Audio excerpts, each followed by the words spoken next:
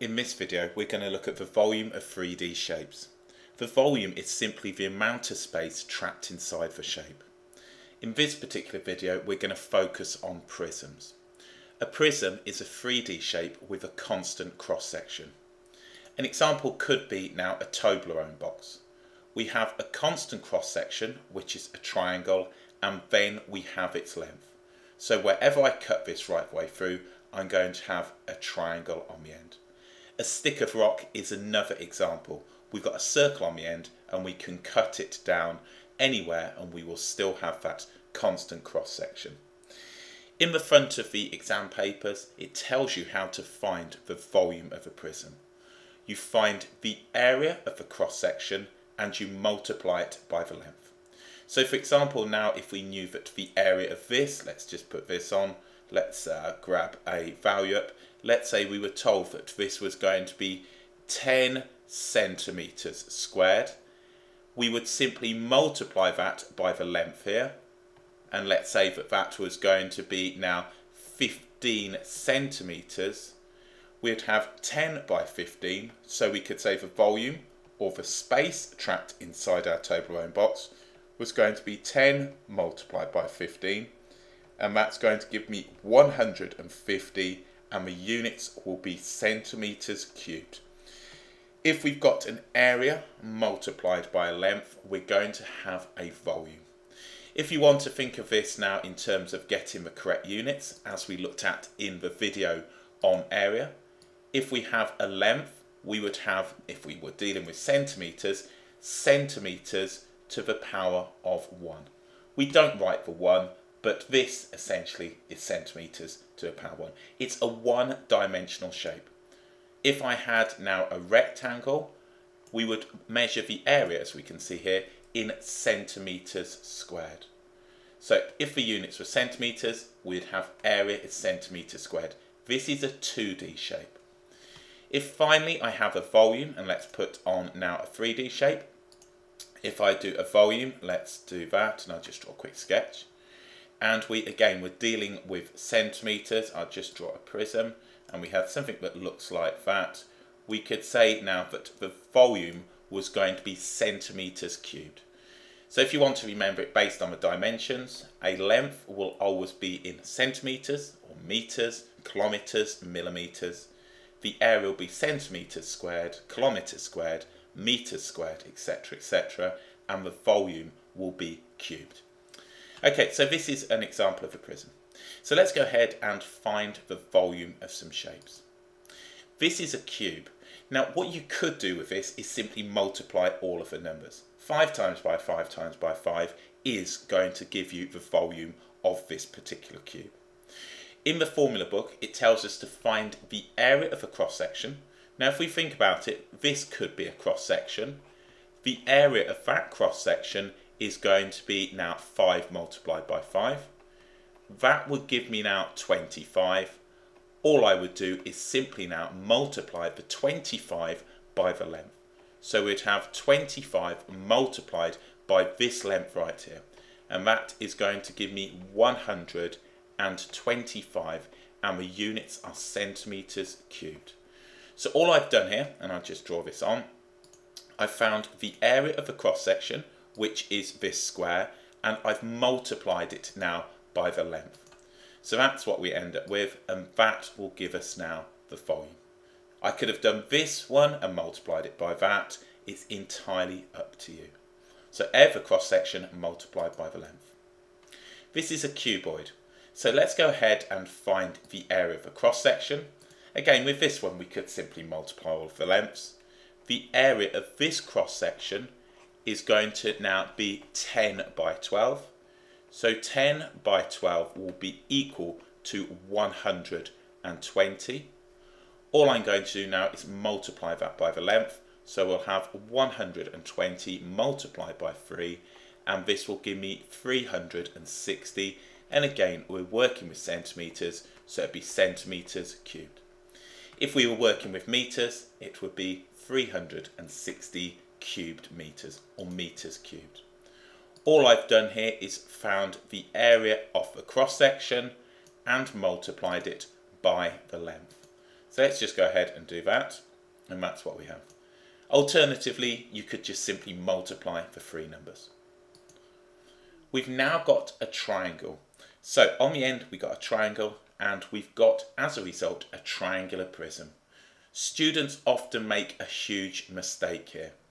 They find the area of this one here and multiply it by the length, or they forget to half their answer. So let's look at two different ways that we could attack this. What I'm going to do to begin with is find the area of the cross section. The cross section is going to be this part right here. This is a triangle with a base of 3 and a height of 8. Therefore, I know that the area of a triangle, which we've seen in the previous video, is going to be 3 multiplied by 8 and I need to half my answer. So we can say that the area is going to be 12 and that will be centimetres squared. I now need to multiply 12 by the length and 12 multiplied by 12 is going to give me 144 and that will be centimetres cubed.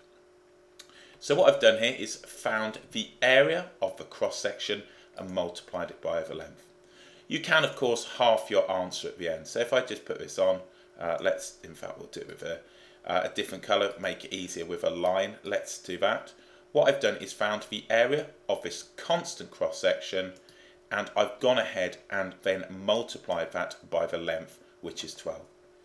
What you can do is 8 times by 3 times by 12 and then half your answer. But remember, we haven't got now a cuboid, we have half a cuboid. A cuboid would look something, let's do that, it would look something like that. So if I just drop that down, that's a cuboid. So if you don't half your answer, you end up getting the same shape that we'd have here. So make sure whichever way round, you're going to half that answer. So 8 times by 3 is 24, half the answer, gives us the area of the cross section, multiply it by the length. Okay, this time we've got a cylinder. A cylinder is a prism and we have a circle on the end. So what I'm going to do is find the area of the circle and multiply it by the length. We can see the diameter is 8, which means the radius of the circle is going to be 4. Again, this one is in centimetres. They won't always be in centimetres, these examples have just been all given in centimetres. So what we're going to do is find the area of a cross section. So the area is equal to pi r squared. So the area is going to be equal to pi, which is just a number, it's 3.142, multiplied now by 4 squared, which is 16. So 4 squared, 4 times by 4 is 16. So we can say that the area of the end is going to be 16 pi. This will give us an exact value on the calculator. So all I'm going to do then is 16 pi multiplied now by the length of 30. So let's go ahead and do that on the calculator. So I can type in 16 shift pi. You can do 3.142. Then we're going to multiply this answer by 30 and that gives me 480 pi and that's 1507 so let's write this on 1507 nine six dot dot dot dot. Let's just see what it was. Fifteen oh seven nine six four four seven four. So I'm going to say now I'm just going to round this to the nearest whole number and I'm going to say this is 1508 and that is going to be centimetres cubed. Don't be alarmed but it's a large number. We can see clearly we've done the correct calculation. This is going to have a lot of space trapped inside. When we're talking about a lot of space, just think of a can of Coke, just how much is going to come out of that if you empty it. So we found the area of the end, 4 squared times by pi, and then multiplied that by the length. As you can see here, uh, with the cylinder, we've got another prism. So nice and straightforward and fairly logical. Okay, let's have a look at another one. Right, okay, so let's look at this here. What we've got then is essentially a composite shape or a compound shape on the end. So we've got one centimetre, we've got one centimetre, one centimetre, and uh, one centimetre, one centimetre, two and two. So what we can do is find, and you can do this however you like. If you want, you could find the whole square and multiply it by the length and then subtract away this small part, or you could split this up. I'm going to go ahead and simply find what the volume would be if we had the entire shape and didn't have this cut out. So what we'd have, and I'll just quickly sketch it up, we'd have a square on the end. So we'd have a square, 2 by 2 square, and then we would have now a 15 centimetre part. So it looks something like this. Let's just go ahead and do that. So let's put that on.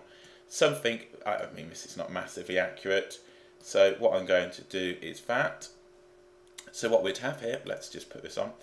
This is going to be 2, so we got 2 and 2. So the area of this is going to be 4. We've got a length of 15, so that's 15 centimetres. So 4 times by 15 is going to give me now 60 and that will be centimetres cubed. What I'm now going to do is subtract away this part. So let's do that. Let's subtract away that part. Let's just draw that up, a little one.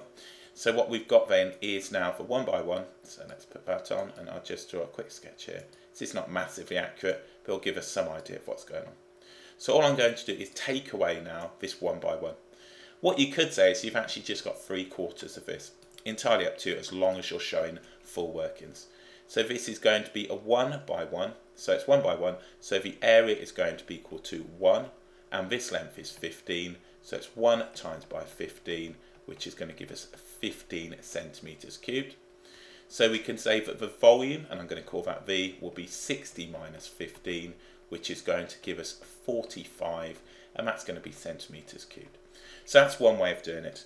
Um, if you're very uh, slick with that, you can just say it's three quarters of this particular shape, as we can see that it's cut up.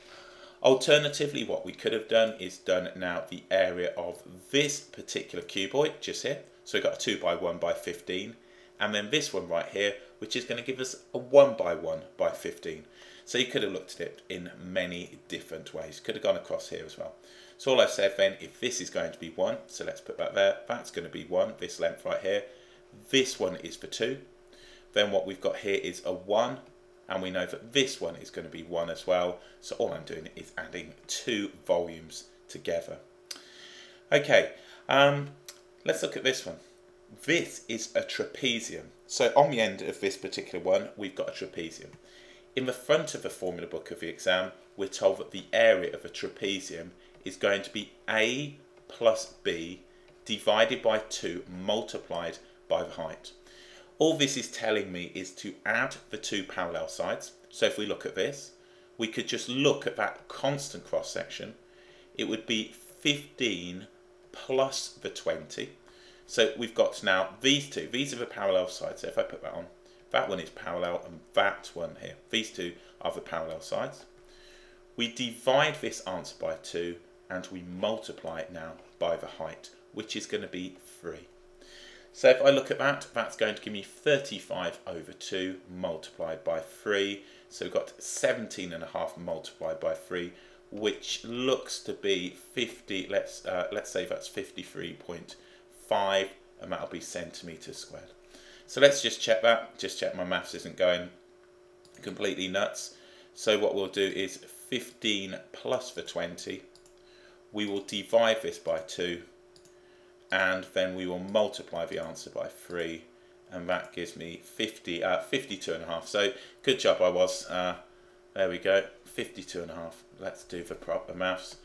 Uh, 52 and a half, that makes sense. Okay, so that is the area of the cross section. So what I've done is just found the area of this bit, so that's that part. Now all I need to do is go ahead and multiply this by the length. So we'll say now that the volume is going to be 52.5 multiplied by 30. So all I'm going to do is multiply my answer now. So multiply by 30 and we get 1575. So we can say 1575 and again this will be centimetres cubed. So that's that's what we have. Um, that's quite a nice one as well, but all of these are prisms. Constant cross section, multiplied by the length. Okay, uh, this one right here. So we've got another triangular prism. So constant cross section of a triangle and we've, be, we've been given the volume now and we need to find a missing length x. So let's just think about this. We need the area. So the volume is going to be equal to the area of the cross section multiplied by the length. So we can say that 42 will be equal to this area. Now just be careful with this area. It's going to be 1 times by the 1.5 divided by 2. It's a triangle. So that is going to give me now half of uh, 1.5 is 0.75. So 0.75 multiplied now by the length, and the length is x. So what we can say then, now dividing both sides by the 0.75, 42 divided by 0.75 is going to be equal to x. So I've just gone ahead and done that, and what's that going to give me? 56. Let's just, knowing how poor my maths has been, let's uh, let's just do that. I think it should be 56. 56, there we go. So x is going to be equal to 56. So as we can see, that's not remotely uh, remotely to scale, uh, but it gives us an idea of how we can do it. So 56, and that's going to be meters. Uh, so that's what we got. So x is going, or x is just going to be 56 as we got the meters there. So all I've done is worked this one backwards. Okay, let's just uh, finish with another one. Sometimes, and I'll, I'll just draw this out, sometimes we might get given some shape and told that this forms a prism. So let's just see if I can, uh, that doesn't look brilliant, but it'll give us some idea. And then we've got something that looks like this. So we've got some, we got some prism, um, and it's, it's a constant cross section. Now we might be told that the area of this is going to be, let's say 42, and we'll say millimeters squared.